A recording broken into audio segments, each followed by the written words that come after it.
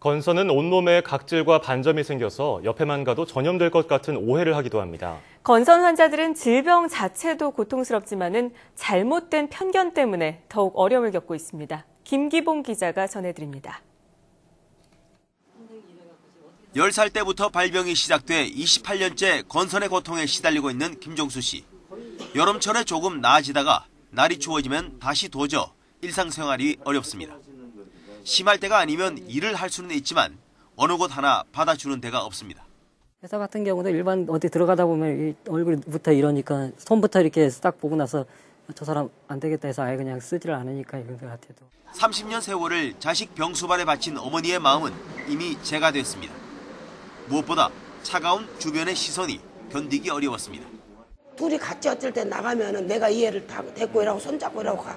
그러면 나를 이렇게 쳐다봐. 그 애 쳐다보고 나 쳐다보고. 그래도 나는 나 애를 데리고 가야지 어떡해요. 건선협회 조사 결과 환자 10명 중 6명은 사회에서 차별을 받는다고 답했고 10명 중 9명은 건선 때문에 업무나 하급 능력을 제대로 발휘할 수 없다고 답했습니다.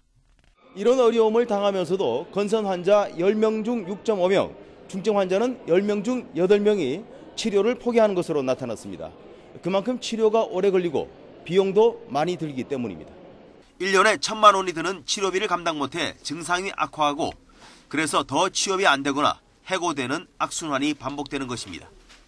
그런데 중요한 건 이 건선은 면역체계 이상이 원인으로 절대 전염되지 않는다는 것입니다.